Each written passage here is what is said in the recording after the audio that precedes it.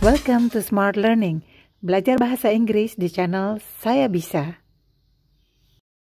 Hari ini kita masih akan belajar tentang bagaimana mengajukan permintaan dengan sopan, polite requests. Pada pelajaran yang lalu kita sudah belajar bagaimana menggunakan please dan dikombinasikan dengan can you, could you, atau would you. Pertanyaan-pertanyaan yang dimulai dengan can you, could you atau would you artinya bisakah atau dapatkah atau maukah. Hari ini kita akan belajar polite request dengan bentuk yang berbeda. Kata-katanya dimulai dengan keberatankah kamu atau apakah kamu keberatan? Atau bisa juga diterjemahkan kalau tidak keberatan, maukah kamu? Kalau nggak keberatan, maukah kamu? Lalu kita lanjutkan dengan apa yang kita minta. Cara menyusun kalimatnya adalah pertama-tama dimulai dengan would you mind, kemudian ditambah dengan verb atau kata kerja bentuk pertama plus ing. Would you mind helping me? Kalau nggak keberatan, maukah kamu membantu saya? Would you mind helping me? Pertanyaan seperti ini tidak dijawab dengan yes, tetapi dengan no, not at all. Kalau nggak keberatan, maukah kamu membantuku? Oh tidak, tidak sama sekali. Would you mind closing the door? Kalau nggak keberatan, maukah kamu menutup pintu? Would you mind closing the door? Would you mind sending me an email? Kalau nggak keberatan, maukah kamu mengirimkan saya email? Would you mind driving me to the airport? Kalau nggak keberatan, maukah kamu mengantarkan saya ke airport? Jadi untuk meminta tolong secara halus, secara sopan, kita juga bisa menggunakan bentuk yang ini. Would you mind plus verb plus ing. Sekarang mari kita lihat bentuk yang ini. Do you mind if? Kira-kira apa ya bedanya dengan would you mind dan seterusnya? Mari kita lihat perbedaannya. Bentuk pertama would you mind plus verb plus ing.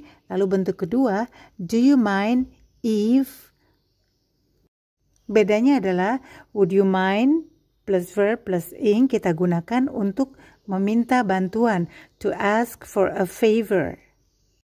Bentuk yang kedua, do you mind if, adalah jika kita ingin meminta izin, ask for permission. Do you mind if adalah bentuk yang lebih formal sekaligus lebih sopan daripada is it okay if atau may I Do you mind if I use your pen? Kalau nggak keberatan, boleh aku pakai pena kamu?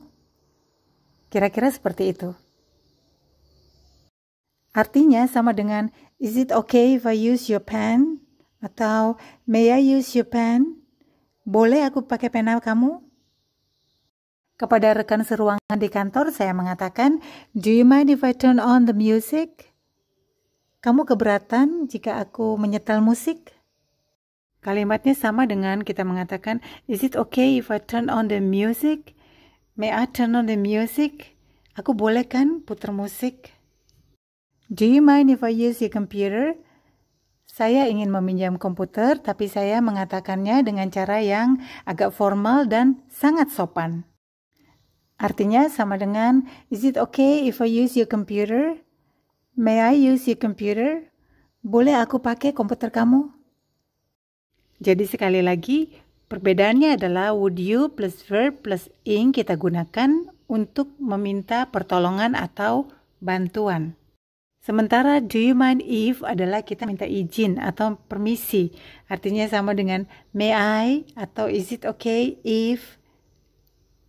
Can you, could you, dan would you juga termasuk kata-kata yang sopan sebetulnya untuk meminta bantuan.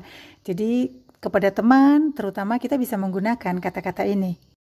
Untuk berbicara dengan orang-orang yang lebih tua atau orang-orang yang kita hormati, misalnya bos atau atasan kita, sebaiknya menggunakan would you mind. Antar teman kita bisa menggunakan bentuk yang ini. Is it okay if I borrow your car? May I borrow your car? Boleh pinjam mobil kamu?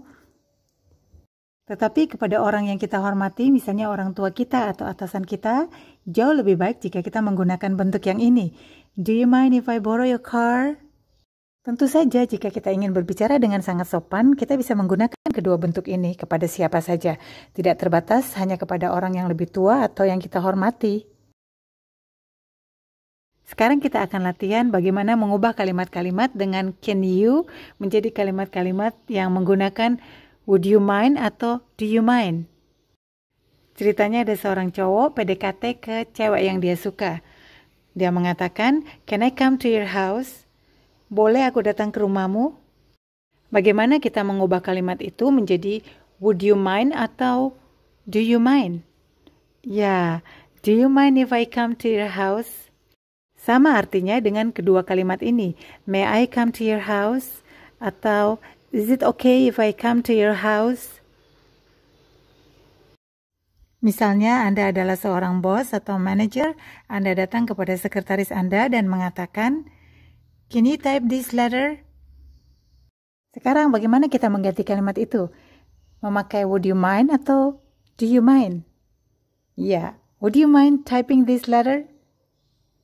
Kita akan mengadakan pesta, lalu kita mengundang seseorang dan sangat mengharapkan dia untuk datang ke pesta kita. Kita mengatakan, "Can you come to my party?" Sekarang kita ganti kalimat ini menjadi "Would you mind?" atau "Do you mind?" Iya, Would you mind coming to my party? Kita bertamu di rumah seseorang, lalu kita ingin membuka jendela. Kita mengatakan, Can I open the window? Bagaimana kita mengatakan kalimat ini dengan cara yang lebih sopan? Ya, yeah. do you mind if I open the window? Sama dengan kita mengatakan, Is it okay if I open the window? Atau, May I open the window? Kita lagi jalan-jalan ke tempat yang indah, lalu kita minta tolong seseorang untuk mengambil foto. Can you take a picture of me? Sekarang, bagaimana kita minta tolong dengan cara yang lebih sopan? Ya, yeah. would you mind taking a picture of me? Mata kita mencari-cari kursi kosong tapi tidak ketemu. Akhirnya kita melihat satu kursi kosong di samping seseorang. Lalu kita bertanya, "Can I sit here?" Bagaimana kita mengubah kalimat itu untuk bertanya dengan cara yang lebih sopan? Ya, yeah, do you mind if I sit here? Yang artinya sama dengan Is it okay if I sit here? Atau May I sit here?